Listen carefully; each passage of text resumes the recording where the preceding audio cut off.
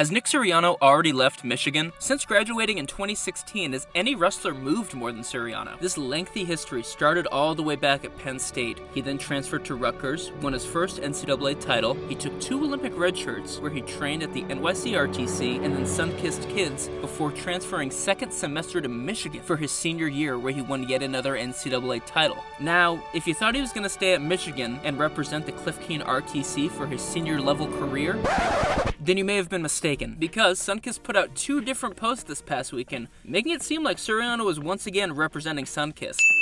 Now you may be wondering why. Why has Suriano had a hard time finding a home base throughout his career? No one really knows, but we are speculating that it might be because he wants to find the key to success. I mean, who doesn't, right? But who can help Nick win it all?